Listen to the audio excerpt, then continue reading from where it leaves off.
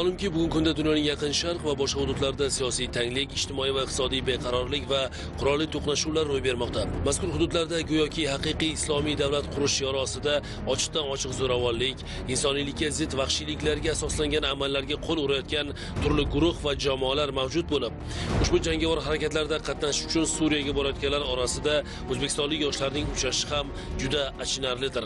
Shunday o'rgimchak turiga ilinganlardan biri 1992-yilning 17-yanvar kuni Jizzax viloyatida tug'ilgan Qodirov Karimjon Rahimjon o'g'li.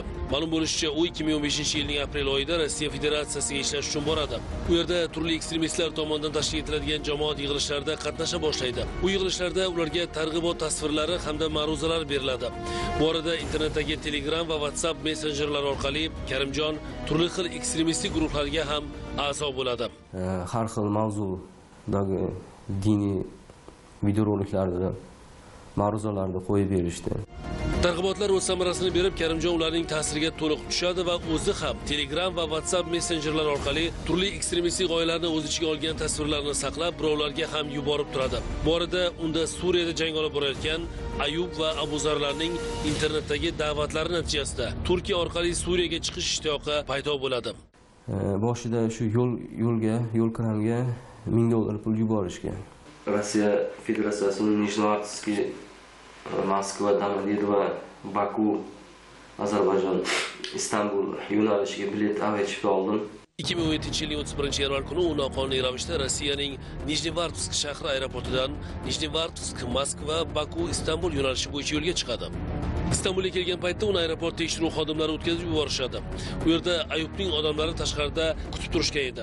Ammo Istanbul shahrida Turkiya huquqni muhofaza qiluvchi idoralar xodimlari tomonidan to'xtatilib, u taqdim etgan shaxsni tasdiqlovchi hujjat qalbaki deb topiladi. Vaholanki, ushbu hujjat Suriyada faoliyat olib borayotgan tafhid va jihod terroristik tashkiloti yetakchilari tomonidan Qodirovga barcha talablarga javob beradigan pasport sifatida ishontirib berilgan edi.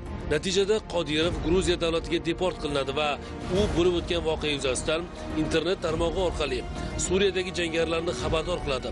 Bunga javoban unga Gruziya davlatida kutib o'tirishni va tegishli odamlar tomonidan unga Qirg'iziston Respublikasining qalbaki pasportini yuborishlarini aytishadi. qirg'izistonni pasportini qilib yuboramiz rasmga tushib jo'natib yuboring deyishdi Bu arada Qodirov O'zbekiston Respublikasi Davlat xavfsizlik xizmati idoralari nazariga tushib qolishdan qo'rqib, Suriyaga tezroq chiqib ketish payiga tushadi, lekin u o'zining ekstremistik g'oyalardan qaytmaganligi va kelgusida begunoh insonlarning o'limiga sabab bo'lishi yoxud kelajakda respublikamiz hududidagi tinchlikka rahna solishi mumkinligi bois Davlat xavfsizlik xizmati idoralari tomonidan chet eldagi hamkorlari bilan birga olib borilgan tadbirlar davomida Karimjon Qodirov Gruziya davlatida qo'lga olinib, O'zbekistonga olib kelinadi. Kelganimdan keyin mana ko'rib tushunib yetdim ularni asl maqsadi nimaligini avvalambor o'zimda xato. Men afsusdaman faqat oilamni onamni yuzini xalqimiz orasida yerga qaratganimda afsusdaman qilgan barcha noqonuniy xatti-harakatlari uchun Karimjon Qodirovga O'zbekiston Respublikasi Jinoyat kodeksining tegishli moddalariga muvofiq munosib jazo belgilandi. Xulosa qilib aytganda, qalbaki pasportdan foydalanib yoki Gruziya, Ozarbayjon va boshqa davlatlar hududlarida O'zbekiston Respublikasi Davlat xavfsizlik xizmati idoralari xodimlari nazaridan yashirinib, terroristik tashkilotlarga borib qo'shilmoqchi bo'lgan Qodirovning noqonuniy xatti-harakatlaridan boshqalar ham to'g'ri xulosa qilsa, kelajak avlodlarimizni yot g'oyalardan himoya qilgan bo'lardik. Zero O'zbekiston kelajagi yoshlar qo'lida.